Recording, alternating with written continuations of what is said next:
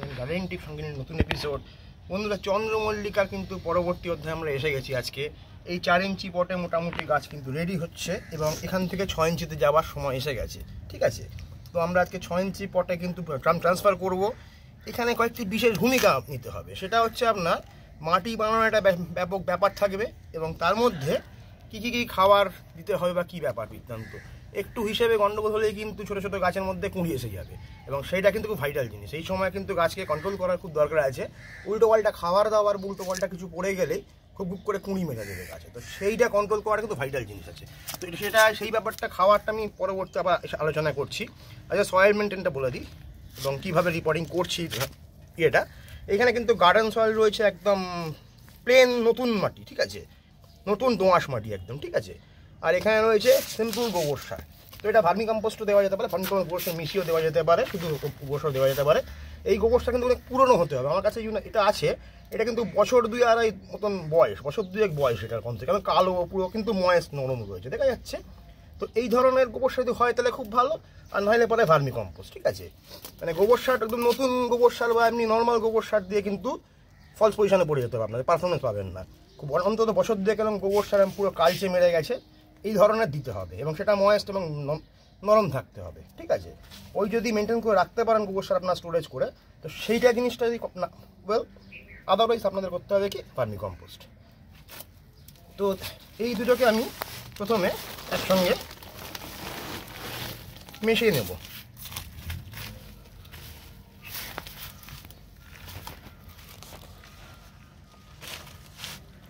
একটু ভালো করে মিশিয়ে নেবে দুটোকে।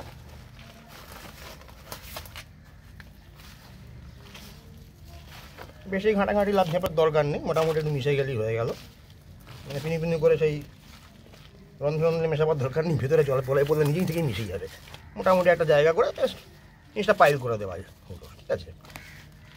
এটা সর্বদিকে সমানভাবে একটা জায়গা তৈরি করে। আচ্ছা এর মধ্যে দিতে হবে যাদের কিনা মাটির টাইট গোছে। মানে এটার ভাগ বেশি আছে বা একদম দোঁয়াশ নয়, নর্মালি মাঠের মাটি তারা কিন্তু একটু বালি মেশাবেন, লাল বালি মেশাবেন মধ্যে। জলটা পাস হওয়ার জন্য ব্যাপারটা থাকবে, ঠিক আছে? তো আমার মাটিতে সেরকম কোনো পরিস্থিতি নেই বালি মেশাবার মতন। আমি সে ধরনের মাটি ইউজ করি বা নিয়ে আসি, কিনে আনি। তো আমি বালি মেশাচ্ছি না। কিন্তু যারা দেখছেন মাটি টাইট বা একটু আঠালো ভাব আছে, তারা কিন্তু অবশ্যই বালি মিশিয়ে দেবেন খানিকটা করে। সেটা কতটা আপনার আন্দাজ করে নেবেন? এর সঙ্গে কিছুটা করে পাঁচ গ্রাম মতন super phosphate plain super phosphate আর কিচ্ছু না।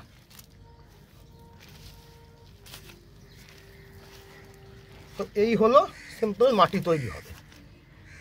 প্রসঙ্গত বলে রাখি, এই মাটিতে কোনো রকম জৈব সার কিন্তু যাবে না।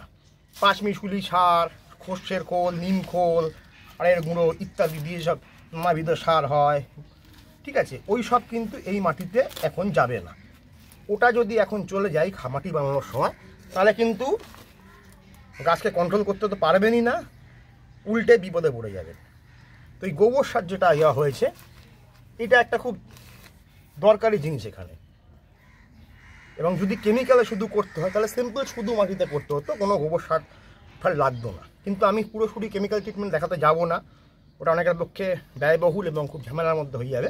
সে কারণে আমি একটা নর্মাল কমন পদ্ধতি দেখাবো, যাতে করে সবাই সুবিধা হয় করতে এবং সবাই এ হয়।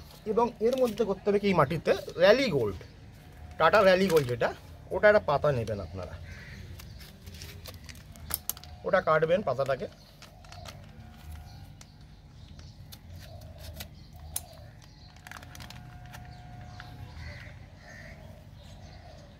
অল্প করে ছড়াবেন উপরের দিকে, একটু মিশিয়ে নিলে উল্টে নেবেন মাটিটাকে।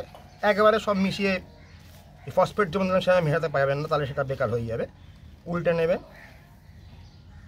আর একটু ছড়ালেন।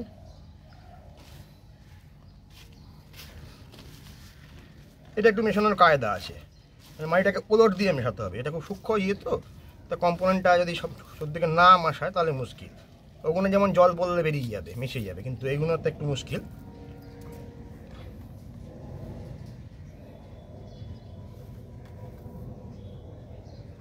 তো এই হলো ব্যাপারটা।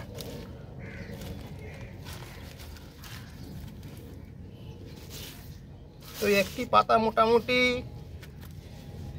ছটি থেকে আটটি দশ ইঞ্চি, এই ছয় ইঞ্চিটার মধ্যে জন্য দেওয়া যাবে।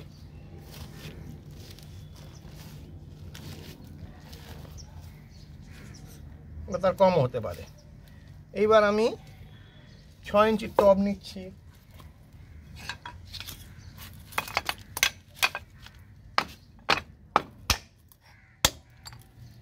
তলার ফুটোটা বন্ধ করে দিলাম। কিছুটাই মাটি ভর্তি করছি। এইবারে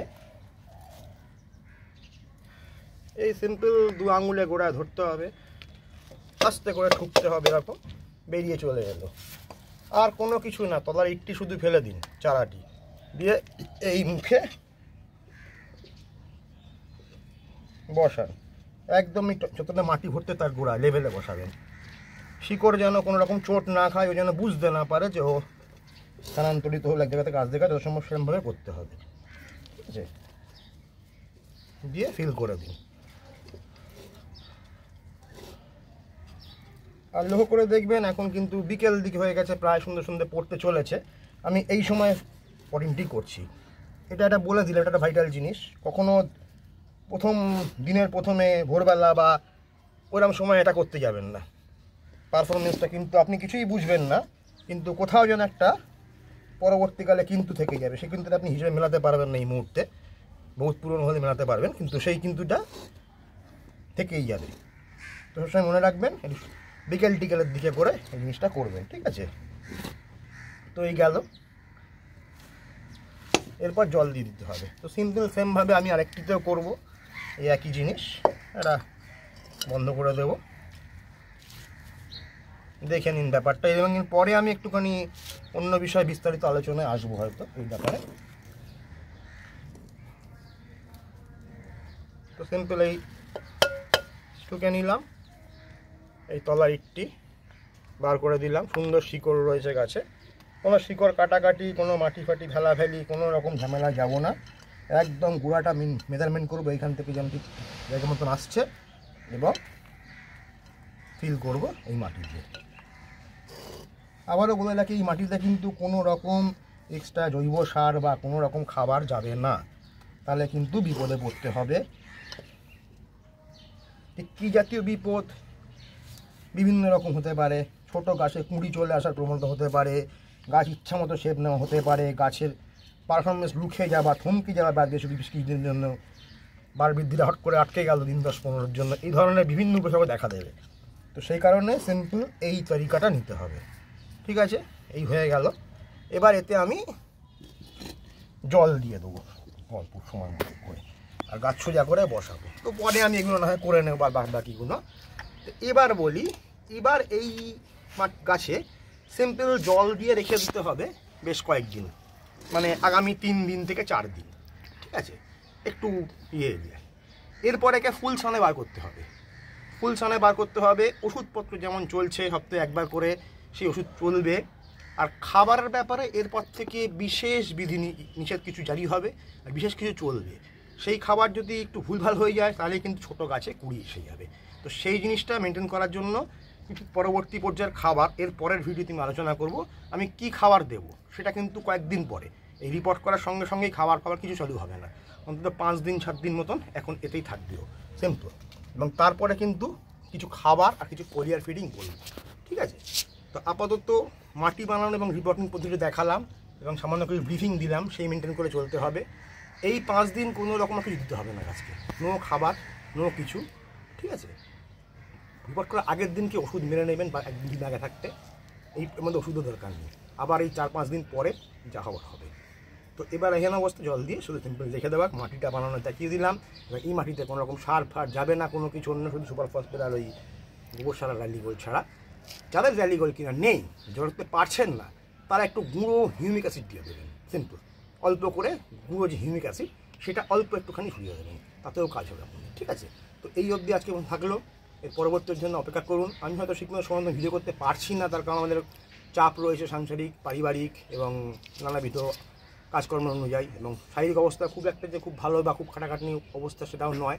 সে কারণে গ্যাপ হয়ে যায়, এবং বহু কাজ নিয়ে থাকতে হয় তো না? সে কারণে সবসময় সময় মতন ভিডিও করা সম্ভব হয় না। কারণ আমার নিজে এত বড় বাগান রয়েছে বিশাল ইয়েতে। তো সেক্ষেত্রে তো আমি সব কিছু সময় করতে পারি না পেরে উঠি না? তো সে কারণে সব গ্যাপ হয়ে যায়, যাই হোক।